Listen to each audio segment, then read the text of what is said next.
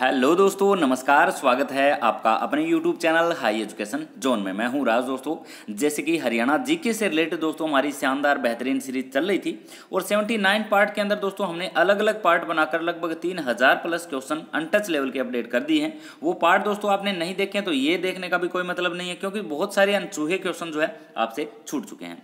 तो जैसे कि दोस्तों, सभी के सभी एग्ज़ाम एक साथ आ चुके हैं और एग्ज़ाम का लेवल दोस्तों, अब की बार हार्ड रहने की पूरी पूरी संभावना है, क्योंकि दोस्तों जो पिछले एग्ज़ाम्स हुए थे, उसमें बहुत से लोगों ने बहुत हाई स्कोर जो है अचीव कर लिया था, जिसकी वजह से थोड़ा सा इशू भी बन गया था, ठीक है? तो उसी को हिसाब से देखते हुए दोस्तों, आगे एग्ज़ाम सिंपल आने के, हरियाणा की हम बात करें तो हरियाणा जीके से रिलेटेड जो है, वो थोड़ा सा टफ लेवल जो है पूछा जाएगा। और जो टफ लेवल दोस्तों पूछा जाएगा, हमारी अगर आपने सारी की सारी वीडियो देख रखी है तो दोस्तों आप आसानी से सोल्व कर लोगे, क्योंकि दोस्तों हम बहुत सारी बुक्स का निचोड़ निकाल के जो है ये वीडियो बना रहे हैं। तो दोस्तों, चैनल पर नए आए तो चैनल को सब्सक्राइब ज़रूर कर लें, ताकि लेटेस्ट वीडियो की अपडेट आप तक पहुँचती रहे।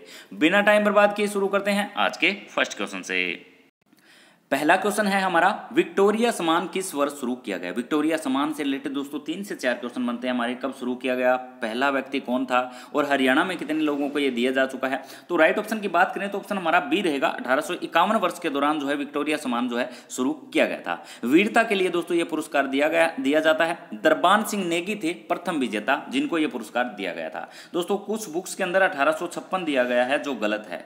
विक्टोरिया समान की जो शुरुआत जो है वो अठारह के अंदर की गई है। कुछ बुक्स के अंदर जो गलत है, वो सही कर लें आप, ठीक है? और हरियाणा के कितने लोगों को ये सामान दिया जा चुका है? तो पाँच लोगों को दोस्तों ये सामान दिया जा चुका है। सबसे ज़्यादा जो है विक्टोरिया क्रॉस प्राप्त, दोस्तों, कहाँ से जज्जर से हैं। तो इसका दोस्तों राइट ऑप्शन क्या रहेगा हमारा? बी रहेगा।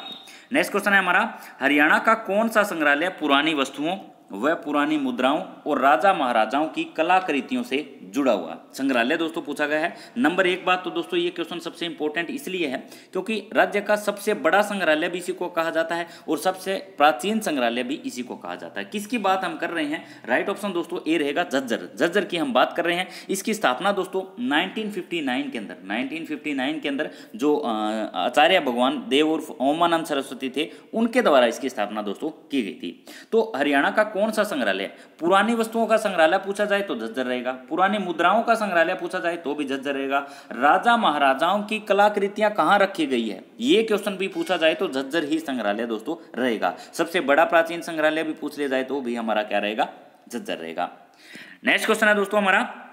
कपिल मुनि का जन्म हरियाणा के किस तीर्थ से जुड़ा हुआ है? तीर्थ दोस्तों, यहाँ से पूछा गया है कि कपिल मुनि का जन्म जो है हरियाणा के किस तीर्थ से जुड़ा हुआ है। राइट ऑप्शन की बात करें तो ऑप्शन डी रहेगा हमारा दोस्तों, हांस हेडर। हांस हेडर दोस्तों, तीर्थ कहाँ है? हमारा जींद के अंदर। ये दोस्तों, कपिल मुनि का जन्म यहाँ हुआ था, इसलिए दोस्तों ये जो है कपिल मुनि से संबंधित हांस हेडर तीर्थ पूछा जा सकता है। इसके अलावा दोस्तों, हटकेश्वर तीर्थ की हम बात करें तो ये भी हमारा कहाँ है? होट गाँव जींद के अंदर। ठीक है, यहाँ से भी क्वेश्चन उठाया जा सकता है। किरसोली दोस्तों किरसोली एक आ, किला है। ये टीला किरसोली है दोस्तों। पूरा नाम इसका टीला किरसोली। ये तीर्थ नहीं है। ये भी दोस्तों जीन के अंदर है। और राम हद को दोस्तों आप सभी जानते हो जहाँ भगवान परशुराम ने यज्ञ किया था। क्या किया था राम हद के अंदर? भगवान परशुराम ने यज्ञ किया था। और यहाँ भगवान परशुराम का एक दोस्तों मंदिर भी क्या है? स्थित है। तो यहाँ से भी दोस्तों शानदार क्वेश्चन बनते हैं। राइट ऑप्शन क्या रहेगा हमारा ऑप्शन? डी हाँ सेडर तीर्थ। नेक्स्ट क्वेश्चन है हमारा, पशु पक्षी गोद लेने की योजना जो है वो किस वर्ष शुरू की गई? पशु पक्षी ये एक दोस्तों योजना चली थी गोद लेने की, ये किस वर्ष शुरू की गई?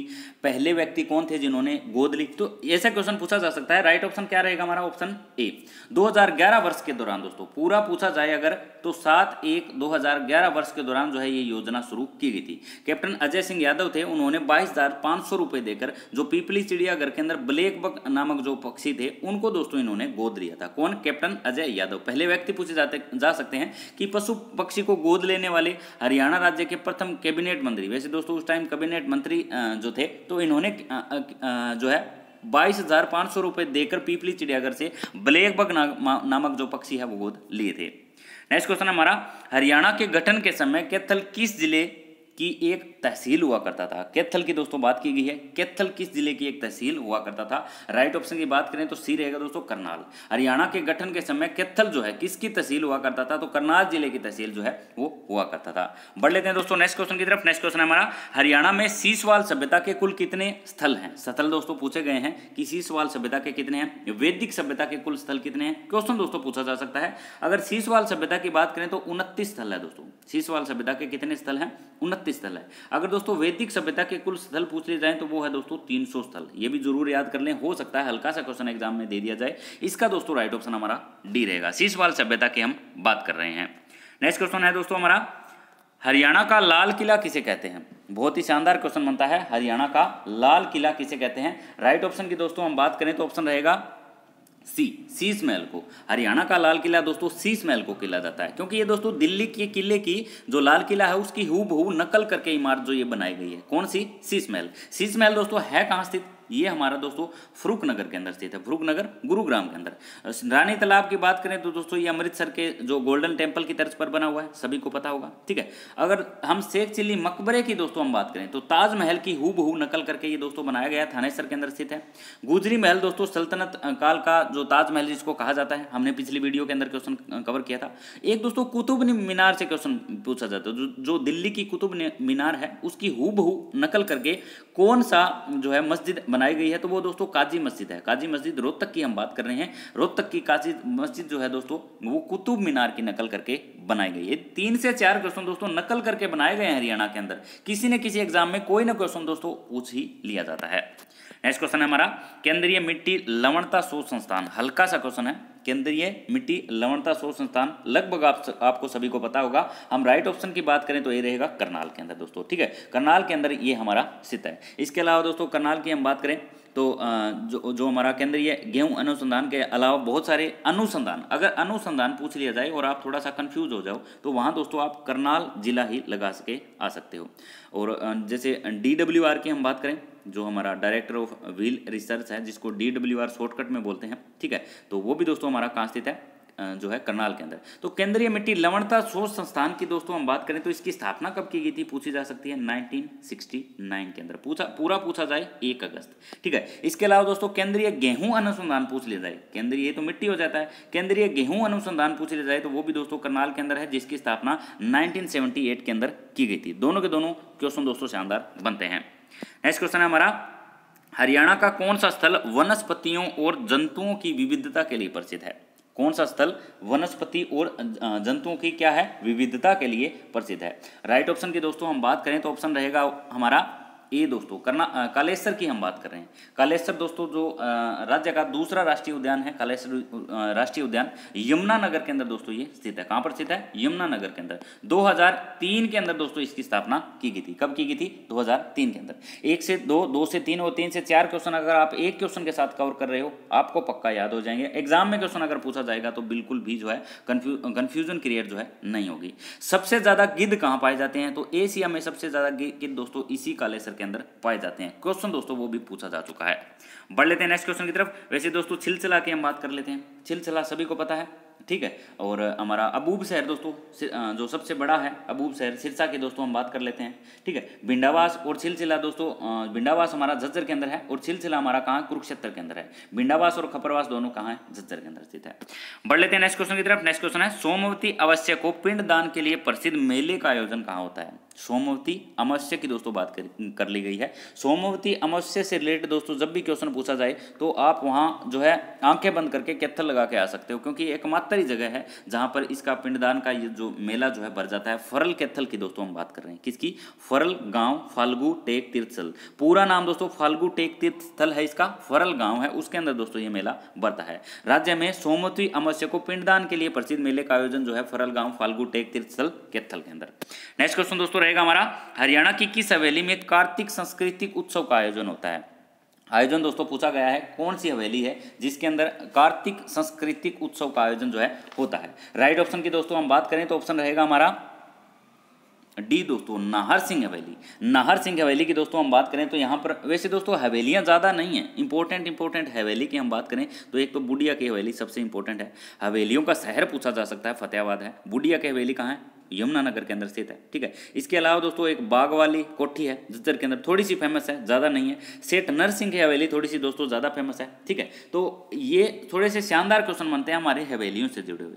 तो ये दोस्तों, हमारी नाहर सिंह की हवेली है, जहाँ कार्तिक संस्कृत उत्सव का यहाँ पे आयोजन आयोजन होता है। एकमात्र ही हवेली है, जिसमें ये आयोजन होता है। बढ़ लेते हैं दोस्तों नेक्स्ट क्वेश्चन की तरफ़। नेक्स्ट क्वेश्चन है हमारा, सात तालाबों का शहर किसे कहते हैं? सात तालाबों के शहर की दोस्तों बात की गई है। सात तालाबों व आठ गेटों से घिरा शहर किसे कहते हैं? क्वेश्चन पूरा कंप्लीट ये बनता है। सात तालाबों व आठ गेट। आठ गेट भी इसके दोस्तों कैथल के फ़ेमस हैं, पूछा जा सकता है। तो सात तालाबों का शहर जो है वो किसे कहा जाता है? कैथल को कहा जाता है। अभी तो दोस्तों यहाँ पे वैसे कोई तालाब है नहीं, लेकिन किसी टाइम में बहुत सारे प्राचीन और जो बड़े तालाब हुआ करते थे, इसलिए दोस्तों ये कैथल का कैथल का नाम लिया जाता है। नेक्स्ट क्वेश्चन है, हरियाणा राज्य का कितने प्रतिशत भाग चट्टानी व पहाड़ी है। दो क्वेश्चन दोस्तों यहाँ से भी बनते हैं। कितने प्रतिशत बाघ चटानी है और पहाड़ी है। राइट ऑप्शन की दोस्तों हम बात करें तो ऑप्शन रहेगा हमारा A three point zero nine percent दोस्तों। Three point zero nine percent राज्य का भाग जो है वो पहाड़ी व क्या है? चटानी है। हरियाणा में कुल कृषि क्षेत्रफल। देश के कुल कृषि क्षेत्रफल के कितने बराबर है? तो क्वेश्चन पूछा जा सकता है तो 1.3 प्रतिशत। ठीक है दोस्तों, इसके अलावा दोस्तों, हरियाणा में गेहूँ उत्पादन का कितना प्रतिशत है? तो 12 प्रतिशत जो है अकेला हरियाणा जो है, गेहूँ उत्पादन में जो है इसका नाम लिया जाता है। बढ़ लेते हैं दोस्तों नेक्स्ट क्वेश्चन की तरफ़। नेक्स्ट क्वेश्चन है, हरियाणा हिंदी सत्याग्रह आंदोलन किस वर्ष शुरू हुआ? हरियाणा हिंदी सत्याग्रह आंदोलन की दोस्तों, बात की गई है। राइट ऑप्शन की हम बात करें तो ऑप्शन रहेगा हमारा ए दोस्तों 1957 के अंदर, हरियाणा के अंदर हिंदी सत्याग्रह आंदोलन की जो है शुरुआत हुई थी। इसके नेता तो कौन थे? पर जिनका इन्होंने नेतृत्व किया तो वो थे दोस्तों प्रताप सिंह केरो। ये प्रताप सिंह केरो दोस्तों जो है नाम ज़रूर याद कर लें, किसी न किसी एग्ज़ाम में ज़रूर फंसेगा। इसके अलावा दोस्तों, एक मुजरा आंदोलन पूछा जाता है हरियाणा से संबंधित, जो चौधरी देवीलाल के द्वारा शुरू किया गया था। उसकी अगर हम बात करें कब शुरू किया गया था तो उन्नीस सौ बावन वर्ष के दौरान जो है वो शुरू किया गया था। ये दो क्वेश्चन दोस्तों एक दूसरे से जुड़े हुए मानो और इनको अच्छे से कवर कर लो। नेक्स्ट क्वेश्चन है, किस ज़िले की हवेली में लाल किले के दरवाजे उतार कर लगाए गए? हवेली से। कौन सी ऐसी हवेली थी जहाँ की जो है, लाल किले के दरवाजे जो है, जहाँ पर उतार कर लगाए गए थे? ये दोस्तों गिफ्ट दिए गए थे। अगर राइट ऑप्शन की बात करें तो डी रहेगा हमारा भिवाणी ठीक है भिवाणी का, इस हवेली का निर्माण दोस्तों क्वेश्चन पूछा जा सकता है। कि भिवाणी की हवेली थी और इस हवेली का नाम अगर हम बात करें तो सेठ दयाराम, जयाराम की हवेली थी, ठीक है? सेठ जयाराम दास की हवेली थी और दोस्तों अठारह सौ तिरपन में जो है इस हवेली का निर्माण किया गया था और इस हवेली में दोस्तों लाल किले के दरवाजे उतार कर लगाए गए थे, जो उस उस दौरान जो वायस राय लॉर्ड डलहौजी जो थे, ठीक है? उन्होंने सेठ की मित्रता के कारण ये दरवाजे इनको प्रदान किए थे। तो ये मित्रता के कारण दोस्तों गिफ्ट किए गए थे, भेंट किए गए थे। किनको, ठीक है? ये हमारे जो इनके जयराम दास जो खुद थे, ठीक है? वायर वायस राय लॉर्ड डलहौजी के द्वारा इन सेठ को जो है ये गिफ्ट दिए गए थे। तो राइट ऑप्शन क्या रहेगा? डी रहेगा। नेक्स्ट क्वेश्चन हमारा बाखड़ा नहर की कुल लंबाई कितनी है? लंबाई दोस्तों पूछी गई है कि बाखड़ा नहर की कुल लंबाई कितनी है? राइट ऑप्शन की दोस्तों हम बात करें तो ऑप्शन रहेगा हमारा बी दोस्तों 165 किलोमीटर। एक सौ पैंसठ किलोमीटर की दोस्तों बाखड़ा नहर की लंबाई है। सतलुज नदी पर दोस्तों, नांगल बांधने का बनाकर ये निकाली गई है। रोपड़ जिला दोस्तों, पंजाब से ये शुरू होती है। और प्रवेश स्थल दोस्तों, हरियाणा के अंदर आजी, आजिमगढ़ गाँव है टोहाना के अंदर, वहाँ से ये प्रवेश करती है। 92 किलोमीटर की लंबाई किसकी है दोस्तों? ये हमारी एसवाई नहर की हरियाणा में लंबाई है। टोटल लंबाई एस नहर की दो सौ चौदह किलोमीटर है। ठीक है, बढ़ लेते हैं नेक्स्ट क्वेश्चन की तरफ़। नेक्स्ट क्वेश्चन है हमारा, दिल्ली के साथ संपूर्ण रूप से राज्य के कितने जिलों की सीमा लगती है। सीमा से रिलेटेड क्वेश्चन पूछा गया है। राइट ऑप्शन हमारा सी रहेगा। चार जिलों की सीमा जो है, इसके साथ लगती है। बात की कर ली गई है दिल्ली के साथ। संपूर्ण रूप से राज्य के कितने जिलों की सीमा जो है, लगती है। राइट ऑप्शन दोस्तों, हमारा क्या रहेगा? Option C. बढ़ लेते हैं दोस्तों। ये वैसे अगर क्वेश्चन पूछ लिया जाए कौन कौन से ज़िले? तो सोनीपत, जज्जर, गुरुग्राम और फरीदाबाद। सोनीपत, झज्जर और गुरुग्राम और फरीदाबाद। ये चार ज़िले हैं दोस्तों, मुख्य तौर पर। नेक्स्ट क्वेश्चन है हमारा, हरियाणा में चिंकारा प्रजनन केंद्र कहाँ स्थित है? चिंकारा प्रजनन केंद्र की दोस्तों हम बात करें तो राइट ऑप्शन जो रहेगा वो सी रहेगा दोस्तों, केरू भिवाणी के अंदर हरियाणा में चिंकारा प्रजनन केंद्र जो है, केरू भिवाणी के अंदर है। अगर दोस्तों सिंपल मयूर एवं चिंकारा प्रजनन के अंदर पूछा जाए तो वो दोस्तों हमारा हो जाता है जबुआ, रेवाड़ी के अंदर दो क्वेश्चन दोस्तों यहाँ से भी जुड़े हुए हमारे, पूछे जाते हैं। प्रजनन के अंदर सबसे ज़्यादा मोरनी और पंचकूला, पिंजोर पंचकूला के अंदर जो बने हुए हैं। नेक्स्ट क्वेश्चन है हमारा, हरियाणा के सबसे प्रसिद्ध बूढ़ी तीज का मेला। ये मेला थोड़ा सा दोस्तों फ़ेमस है, बूढ़ी तीज का मेला। राइट ऑप्शन की दोस्तों हम बात करें तो ऑप्शन रहेगा हमारा बी दोस्तों, नू के अंदर। ये मेला जो है वो नू के अंदर बढ़ता है। ये मेले थोड़े से दोस्तों, जो इंपॉर्टेंट है वो मैंने, हमने अलग अलग वीडियो के अंदर करवा भी रखे हैं। ये बूढ़ी तीज का मेला दोस्तों हमारा जो है, नू के अंदर बढ़ता है। तो राइट ऑप्शन क्या रहेगा इसमें हमारा बी बढ़ लेते हैं नेक्स्ट क्वेश्चन की तरफ़। नेक्स्ट क्वेश्चन है हमारा हरियाणा में हवेली ऑफ़ द उदयवीर कहाँ स्थित है? Haveli of the Udayveer. Right option दोस्तों, इसमें क्या रहेगा हमारा? सी गुरुग्राम। हरियाणा में हवेली ऑफ़ द उदयवीर जो है, वो गुरुग्राम ज़िले के अंदर स्थित है। आज का नेक्स्ट क्वेश्चन बहुत शानदार क्वेश्चन है। हरियाणा के कैथल ज़िले का टोपियों वाला गुरुद्वारा किस विख्याति के लिए प्रसिद्ध है? विख्याति दोस्तों, यहाँ से पूछी गई है कि किस विख्यात, किसके कारण ये थोड़ा सा सबसे सबसे ज़्यादा फ़ेमस है। राइट ऑप्शन की बात करें दोस्तों सी रहेगा हमारा हिंदू मुस्लिम एकता। हिंदू मुस्लिम एकता के लिए दोस्तों ये थोड़ा सा फ़ेमस है, क्योंकि दोस्तों गुरु ग्रंथ साहिब और रामायण दोनों एक साथ जो है यहाँ पर पढ़े पढ़े जाते हैं, ठीक है? टोपियों वाला गुरुद्वारा, ये कैथल का सबसे फ़ेमस है। इसके अलावा गुरुद्वारा, नीम साहिब गुरुद्वारा वहाँ पर स्थित है, जो हमारा थोड़ा सा फ़ेमस है। गुरु तेग बहादुर से संबंधित है ये गुरु नीम साहिब गुरुद्वारा। ये भी दोस्तों इंपॉर्टेंट क्वेश्चन बनता है। तो इसका राइट ऑप्शन हमारा सी रहेगा। हरियाणा का मुनक नामक स्थल किस ज़िले से स्थित है? मुनक थोड़ा सा दोस्तों फ़ेमस बन जाता है क्वेश्चन राइट ऑप्शन इसका क्या रहेगा हमारा? डी रहेगा। मुनक नामक स्थल की दोस्तों बात की गई है। राइट ऑप्शन क्या रहेगा हमारा? डी करनाल। करनाल के अंदर दोस्तों एक मुनक नहर निकाली गई है। जो फ़ेमस है, मुनक नहर, पश्चिमी यमुना नहर से दोस्तों करनाल के मुनक नामक स्थान से निकाली गई है। इसलिए दोस्तों ये फ़ेमस है, ठीक है? तो शानदार क्वेश्चन बनता है ये भी। राइट ऑप्शन क्या हो जाएगा हमारा? डी रहेगा। और दोस्तों इसका विवाद भी जो है, चलता रहता है जो हमने पिछली वीडियो में फुल विस्तार से भी बताया हुआ है। तो वीडियो को दोस्तों अभी तक लाइक नहीं किया तो लाइक ज़रूर कर दें। और चैनल पर नए आए हो तो चैनल को सब्सक्राइब भी ज़रूर कर लें, ताकि लेटेस्ट वीडियो की अपडेट आप तक पहुँचती रहे। तो दोस्तों मिलते हैं कल फिर नेक्स्ट वीडियो में। वैसे दोस्तों, रीना मैम के द्वारा भी सीरीज़ चल रही है और आशा मैम के द्वारा भी दोस्तों, हरियाणा करंट अफेयर की सीरीज़ चल रही है, पूजा मैम के द्वारा भी जो है साइंस की दोस्तों सीरीज़ चल रही है। वो भी दोस्तों आप ज़रूर, जो है पार्टिसिपेट करें, ठीक है? बहुत शानदार क्वेश्चन वहाँ भी दोस्तों करवाए जा रहे हैं। मिलते हैं दोस्तों फिर नेक्स्ट वीडियो में, तब तक दोस्तों नमस्कार, जय हरियाणा, जय भारत।